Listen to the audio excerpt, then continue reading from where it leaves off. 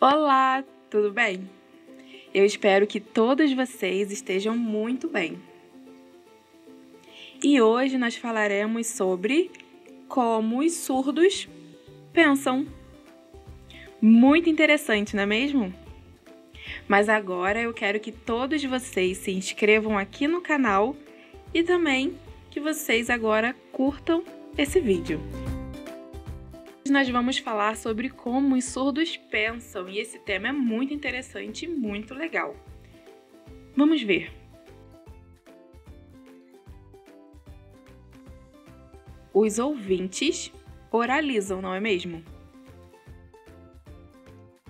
E eu vou explicar agora para vocês a diferença. Por exemplo, o ouvinte está ali teclando e enquanto isso ele está pensando, lembrando de alguma coisa, oralizando. Por exemplo, ah, eu tô com uma vontade de tomar uma cerveja, correto? É um pensamento em que ele está ouvindo a sua própria voz.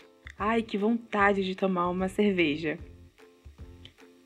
Mas como uma pessoa surda pensa?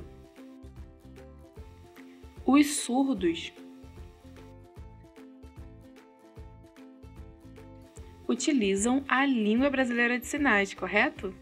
E quando eles vão pensar em alguma coisa, eles pensam sinalizando.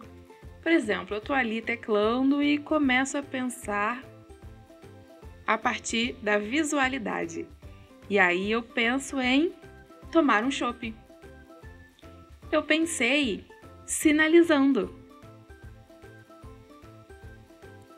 Já o ouvinte oraliza, correto? É por meio da voz.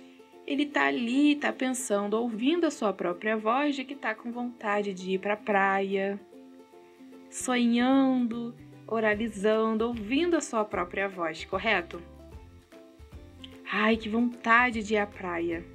Já o surdo pensa a partir do visual.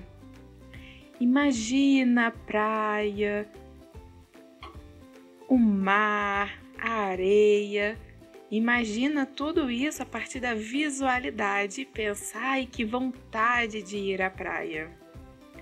Aquele mar calmo, sereno. E vai se imaginando, sinalizando naquela paisagem, naquele contexto. Porque é algo da nossa cultura. Não é oralidade, mas sim a visualidade e então, quando a gente pensa, nós pensamos a partir da visualidade. O ouvinte pensa a partir da oralidade e do seu auditivo. E então o registro da sua voz está no seu pensamento. E então tudo aquilo que ele pensar vai ser a partir da oralidade.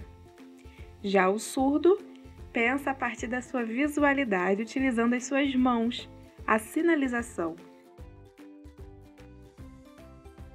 Imaginando as cenas, as paisagens, as árvores, o mar. Ai, que vontade de passear, de fazer uma trilha, de caminhar. Isso ele está pensando a partir da visualidade e da sinalização. É algo natural. Os ouvintes pensam a partir da oralidade e os surdos a partir da visualidade. Vocês entenderam? Gostaram desse vídeo? Então coloquem as suas sugestões aqui nos comentários de novos temas que nós vamos preparar novos vídeos para postar para vocês. Beijos e até logo!